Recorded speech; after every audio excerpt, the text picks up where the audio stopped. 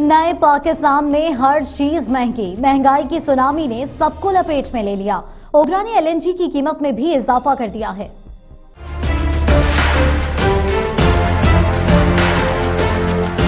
महँगाई ही महँगाई, सब कुछ महँगा। हुक्मरानों के आवाम को ना घबराने के मशवरे, आवाम के लिए महँगाई का आजाब oil and gas regulatory authority ने फरवरी के लिए एलएनजी की कीमत में इजाफा कर दिया, जिसका नोटिफिकेशन भी जारी कर दिया गया है।